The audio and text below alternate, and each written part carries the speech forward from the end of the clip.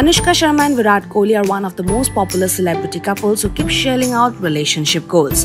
Now, recently, Anushka shared a series of Insta stories cheering for her husband Virat Kohli as he became the top run scorer in the history of T20 World Cups. Virat Kohli overtook Mahela Jayawardene to become the leading run scorer in ICC Men's T20 World Cup. The Bollywood beauty also dropped a screenshot of an article about Virat Kohli's achievement and added heart emojis. For more news and updates, stay tuned to E-Times.